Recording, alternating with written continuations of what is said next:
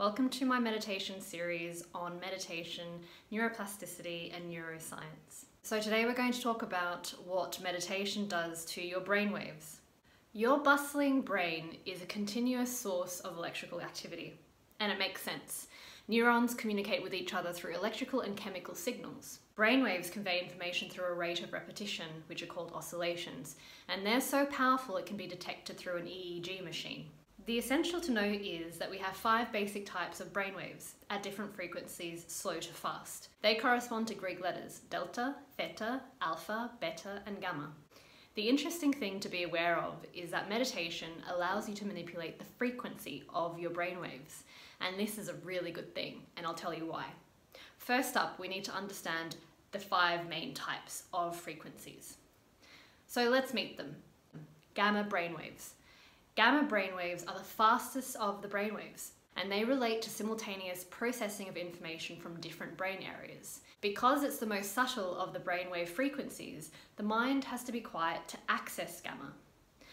Gamma is highly active when in states of universal love, altruism, and the higher virtues such as expanded consciousness and spiritual emergence beta brainwaves. So beta or beta brainwaves dominate our normal waking state of consciousness when attention is directed towards cognitive thinking tasks and the outside world.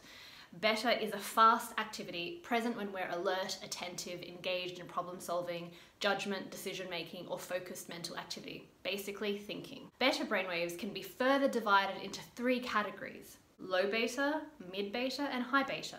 Low beta brainwaves can be thought of as when we're idle or musing. Mid beta brainwaves is high engagement or actively thinking or figuring something out.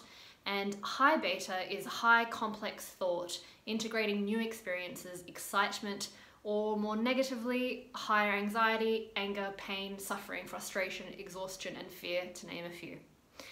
Sustained high beta frequency processing is not a very efficient way to run the brain long term because it uses up so much energy and in fact it does send the brain into disorder.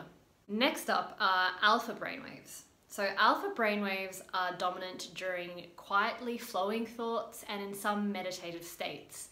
So alpha happens when you live and think in the now, being here in the present, not thinking of your past or your future it is purely in the now.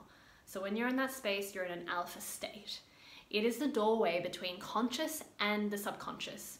So alpha is the resting state for the brain. And how can we access this resting state more? You've got it, meditation. Alpha brainwaves also help overall mental coordination, calmness, alertness, mind-body integration, and learning. Now what if you go into deep meditation? Not just your average meditation, but really deep. So it's there that you'll access something called theta brainwaves, which is into the subconscious. Theta is our gateway to learning, memory, and intuition, so that gut instinct of ours. Because it is our subconscious, it's also where we hold all of our stuff our fears, our life history, our anxieties, our traumas, our nightmares. In theta or theta, you are no longer your body, you are no longer at the mercy of your environment, and you actually lose track of time. Next state is delta brainwaves.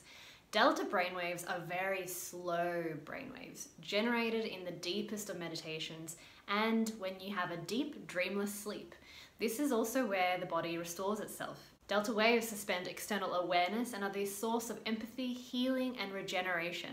And that is precisely why a deep sleep is so essential to the healing process. Beauty sleep is a saying for a reason. Can you now see how there is a definite neuroscience behind meditation? It's not just a pipe dream, there's an actual science to it. So, by practicing meditation, it actually gives you greater access to different processes and functions within your body. In summary, as you meditate and turn attention within yourself, alpha and theta waves increase. This is a good thing because it allows your body and mind to rest, restore, and repair at your will. This is particularly important in the modern fast paced world we're living in, but also when looking into access to improved mental and physical health. I hope you found this video helpful. Don't forget to hit the subscribe button for more videos from me, and I'll see you next time.